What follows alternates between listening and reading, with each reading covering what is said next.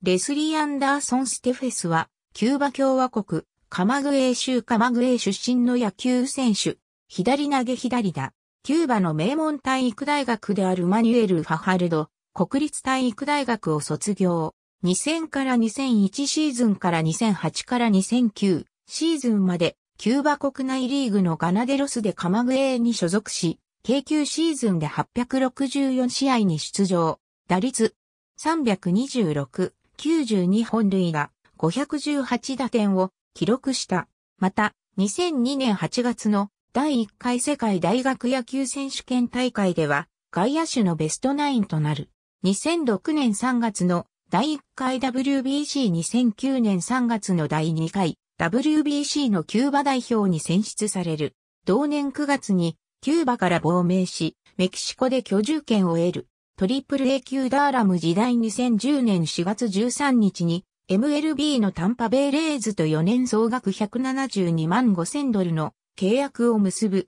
2011年2月に戦力外となり、マイナー契約に切り替えられた。2011年はトリプル A 級ダーラムブルズに定着し、121試合で打率277.13本塁打、65打点、オプス727を記録した。その後も引き続き、ダーラムでプレーした。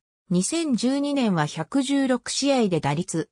309.14本塁打、56打点、オプス805。2013年は119試合で打率。292.14本塁打、74打点、オプス832で MLB へ昇格できず、出場機会を求めて12月28日に NPB 巨人と契約する。2014年開幕戦の阪神タイガース戦で7番左翼手で先発し、リリーフの鶴直人から来日初本塁打。4月26日の広島戦で、球団第79第4番打者に座り、初回に内野ゴロの間に打点、5回に敵地内野安打、7回にはダメ押し本塁打など4打点。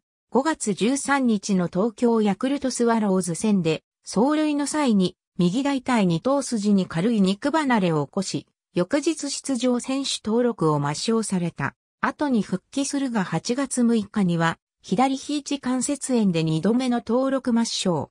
9月15日に復帰後は5番スタメンの同月26日の横浜 DNA ベイスターズ戦で、イ、納め小一からダメ押し2ランを打ち優勝が決まる。87試合で規定未到達、15本塁打、50打点、打率。319、阪神との CS では16打数7安打の打率。438、オフに左肘のクリーニング手術を行う。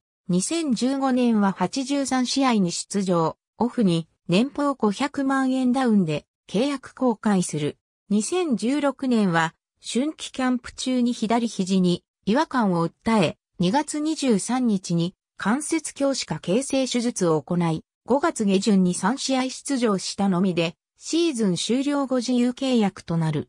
2017年はメキシカンリーグのレオン・ブラボーズと契約したが、5月29日に解雇となる。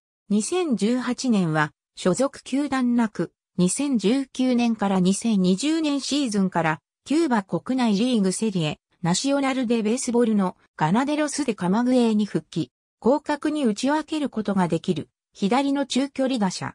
高い身体能力を備えた外野手であり、外野3ポジションに加えて一塁手もこなせる。第2回 WBC では、小一塁手としてプレーしている。NPB NPB 国際大会。ありがとうございます。